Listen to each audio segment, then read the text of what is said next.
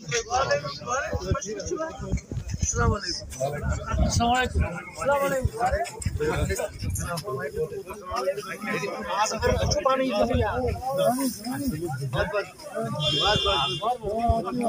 सौ सत्तर खत्म करके हमने मसले कश्मीर ख़त्म किया। मगर उसका उल्टा है। तीन सौ सत्तर ख़त्म करने के बाद उन्होंने मसले कश्मीर को और पेचीदा बनाया, मसले कश्मीर को और मुश्किल बनाया, इसका हल और मुश्किल बनाया। और उसके बाद जो इन्होंने यहाँ पर सप्रेशन का, जुल्म का बाज़ार गर्म करके रखा है, जिस तरह यहाँ लोगों को बात करने की इजाज़त नहीं है, सांस लेने की इजाज़त नहीं है। गरीब बच्चे जो है, उनको बाहर की जेलों में बंद रखा है तो गरीब माँ बाप कैसे जाएँगे वहाँ? किसको बोलेंगे?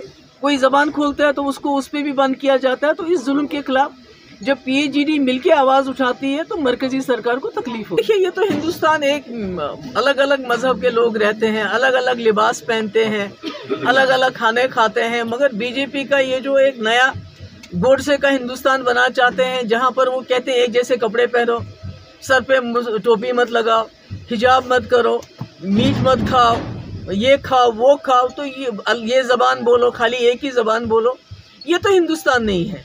ये तो गांधी का हिंदुस्तान नहीं है, और मुझे जहाँ तक लगता है आखिरकार इस मुल्क के लोग जाग जाएँगे और इस गांधी के हिंदुस्तान को गोडसे का हिंदुस्तान बनने नहीं देंगे, ये जो हिजाब की बात है, इसमें यह भी एक साजिश है कि हमारी बच्चियों को तालीम से दूर रखने की कोशिश की जा रही है।